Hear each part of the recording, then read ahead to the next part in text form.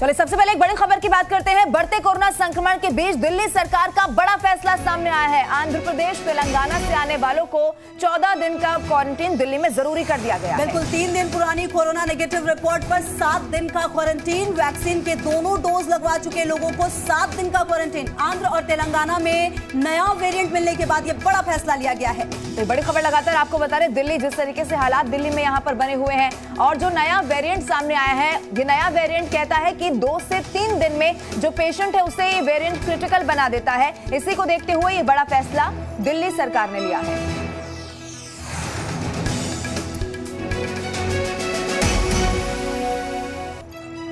और इसी बीच एक और बड़ी खबर आपको बताएँ। राजस्थान में 10 मई से 15 दिन के लिए संपूर्ण लॉकडाउन 10 मई सुबह 5 बजे से 24 मई सुबह पाँच बजे तक ये लॉकडाउन रहेगा। मंत्रिपरिषद की बैठक के बाद गहलोत सरकार का बड़ा फैसला। इकतीस मई तक विवाह समारोह आयोजन करने पर रोक यहाँ पर लगा दी गई है। विवाह समारोह में डीजे, बारात, निकासी, प्रतिभोज की अनुमति यहाँ पर नहीं होगी और विवाह में बैंड बाजा, हलवाई टेंट की भी अनुमति नहीं रहेगी। घर पर दूल्हा दुल्हन फेरे ले सकेंगे या फिर कोर्ट मैरिज भी कर सकते हैं। और इस दौरान महज ग्यारह व्यक्तियों की मौजूदगी को ही अनुमति दी गई है। लगातार ये कयास लगाए जा रहे थे कि राजस्थान सरकार लॉकडाउन लगाएगी क्योंकि राहुल गांधी ने लॉकडाउन का एक तरह से समर्थन कर दिया था, जिसके बाद यह बड़ा फैसला लिया गया। पाँच मंत्रियों का समूह बनाया बनाया गया था, जिन्होंने एक रिपोर्ट दी और उस रिपोर्ट के बाद मुख्यमंत्री गहलोत का यह बड़ा फैसला आया, जहाँ पर अब राजस्थान भी लॉकडाउन होने वाला है। और इस बीच एक और बड़ी खबर आपको बता देते हैं, उत्तर प्रदेश में भी नहीं थम रही कोरोना की रफ्तार। बीते 24 घंटे में छब्बीस नए पॉजिटिव केसेस दर्ज हुए हैं। गुरुवार को यूपी में कोरोना से 350 लोगों की मौत हुई और अब तक यूपी में 14 लाख से ज़्यादा लोग संक्रमित हो चुके हैं। बड़ा आंकड़ा है। हालाँकि जनसंख्या ज़्यादा, लेकिन उसके अनुपात में जो मामले हैं वो भी लगातार सामने आ रहे हैं। और इसी बीच एक और बड़ी खबर आपको बताएँ। दिल्ली में कोरोना का कहर। दिल्ली में 24 घंटे में कोरोना के उन्नीस नए केस। दिल्ली में कोरोना का कहर देखने को मिल रहा है। पिछले 24 घंटे में उन्नीस नए केस। 24 घंटे में 335 लोगों की जान गई है। तो देखिए, भयावह ये आंकड़ा है डरा देने वाला और साथ ही सावधान करने वाला ये आंकड़ा आपके टीवी स्क्रीन पर। एक दिन की बात कर रहे हैं, बीस मरीज़ ठीक भी हुए हैं, यानी कि रिकवर भी हुए हैं। लेकिन लगातार जो आ, मामले हैं वो यहाँ पर बढ़ रहे हैं। और चलिए महाराष्ट्र का रुख करते हैं। महाराष्ट्र से बड़ी खबर सामने आ रही है। एक बार फिर से कोरोना विस्फोट महाराष्ट्र में देखने को मिला है। बीते 24 घंटे यानी कि महज एक दिन में बासठ नए पॉजिटिव केसेस सामने आए हैं। बिल्कुल। और चाहे दिल्ली हो, महाराष्ट्र हो, हर जगह की स्थिति बिल्कुल एक नज़र आ रही है। महाराष्ट्र में फिर हुआ है कोरोना विस्फोट। बीते 24 घंटे में कोरोना से आठ सौ तिरपन लोगों की मौत हुई है। गुरुवार को तिरसठ लोग ठीक भी हुए हैं। ये भी अपने आप में एक बड़ा रिकॉर्ड। तो देखिए, महाराष्ट्र जहाँ पर तमाम पाबंदियाँ लगाई गई हैं, सख्ती लगाई गई है, लेकिन उसके बावजूद भी जो आंकड़े यहाँ से सामने आ रहे हैं, वो खौफनाक है। ये बड़ी खबर महाराष्ट्र से आपको बता रहे हैं। पूरे देश में सबसे ज़्यादा चिंता की स्थिति में महाराष्ट्र ही नज़र आ रहा है, जहाँ से एक बार फिर से कोरोना विस्फोट देखने को मिला है। चौबीस घंटे में बासठ नए केसेस सामने आए। हालाँकि लोग यहाँ पर ठीक भी हो रहे हैं रिकवर हो रहे हैं, लेकिन लोगों की मौत भी हो रही है और आठ सौ तिरपन लोगों की मौत एक दिन में हुई है। बिल्कुल तो पूरे देश की स्थिति एक जैसी है। कोरोना के लगातार रिकॉर्ड तोड़ मामले सामने आ रहे हैं और इसी बीच एक बड़ी खबर झारखंड से आपको बताएँ। झारखंड के हजारीबाग में शादी के एक हफ़्ते बाद ही दूल्हे की कोरोना से मौत हो गई है। शादी से दो दिन पहले हुए बुखार को परिवार वालों ने नजरअंदाज कर दिया। धीरे धीरे दूल्हे की तबियत बिगड़ती गई और कोरोना पर लापरवाही ने दूल्हे की जान ले ली।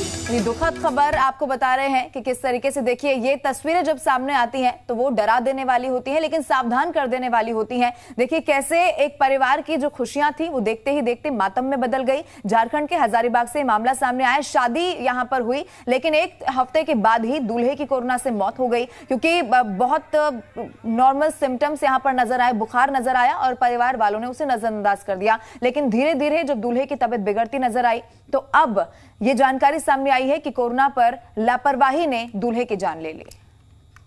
बिल्कुल, इस तरह की खबरें लगातार सामने आई हैं और एक बार फिर से झारखंड से यह खबर है, ये सचेत करने वाली खबर है। आपको भी समझना चाहिए कि शादी विवाह निश्चित तौर पर होते रहेंगे और अलग अलग राज्यों के मुख्यमंत्री भी लगातार दरख्वास्त करते नज़र आ रहे हैं। चलिए इसी बीच एक और बड़ी खबर, स्विट्जरलैंड ने भारत मेडिकल राहत सामग्री भेजी है। विशेष विमान 600 ऑक्सीजन कॉन्सेंट्रेटर लेकर पहुँचा स्विट्जरलैंड से।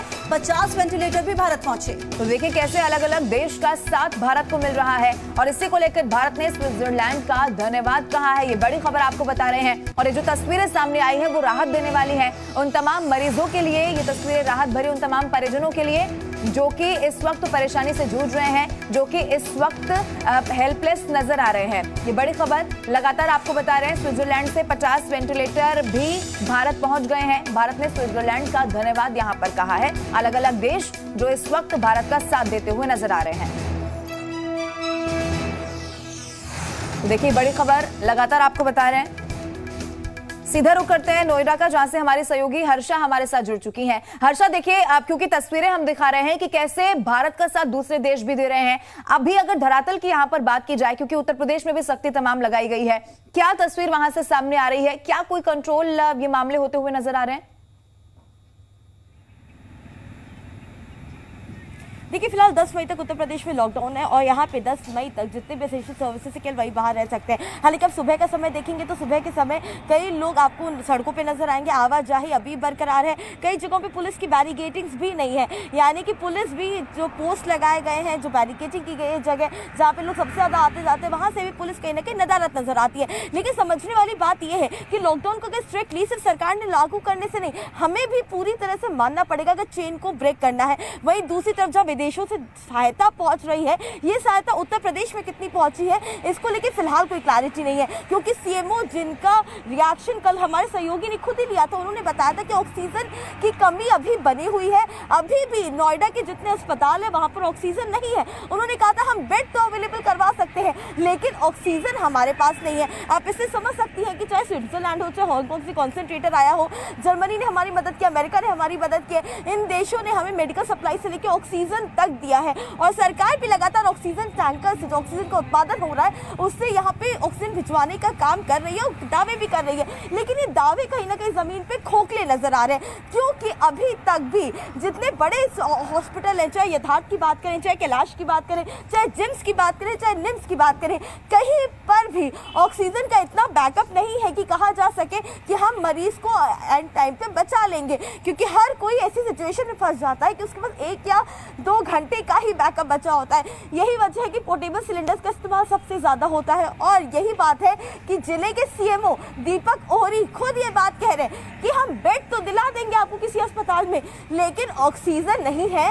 हम बहुत ज़्यादा देर तक आपको ऑक्सीजन सपोर्ट नहीं दे पाएँगे। आप इससे अंदाज़ा लगा सकती हैं कि अगर ऑक्सीजन पहुँच रही है विदेशों से इतनी मदद पहुँच रही है तो आखिरकार ये सप्लाई जा कहाँ रही है?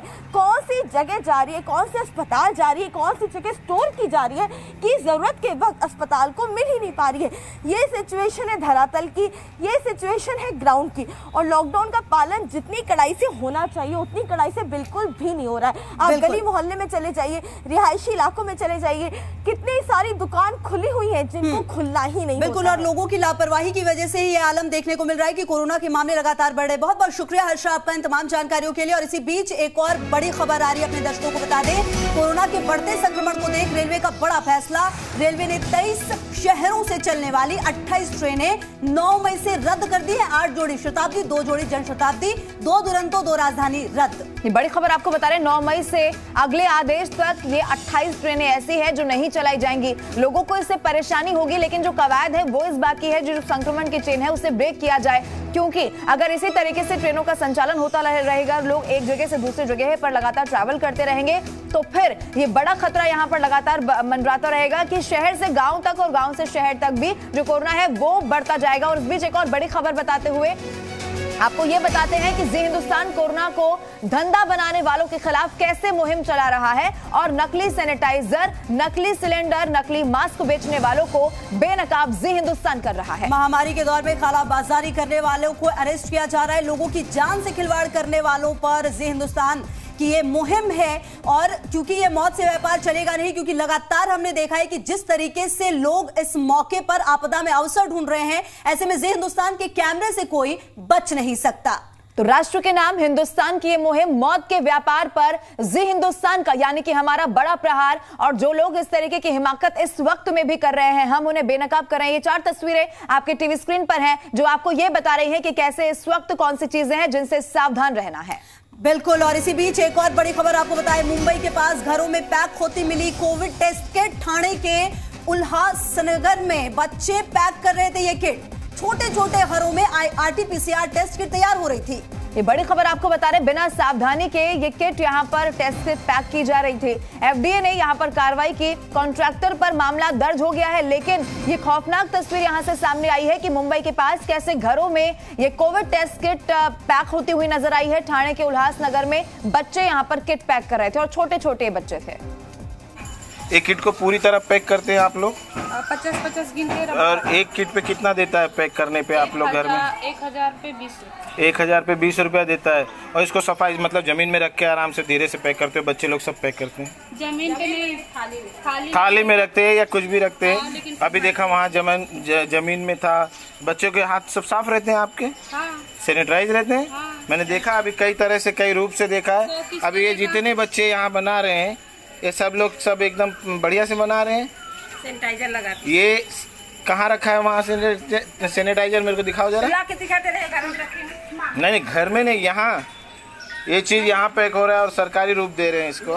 ठीक है ठीक है ठीक है। इन लोगों के जान के साथ कितना बढ़िया से रिकॉर्ड हो रहा है। देखिए कितना सावधानी से बना रहे हैं बच्चे पीपी कोविड टेस्ट किट जिसको गवर्नमेंट इतना महत्व देती है और इन लोगों के जान के साथ खिलवाड़ हो रहा है। ये मजबूर हैं।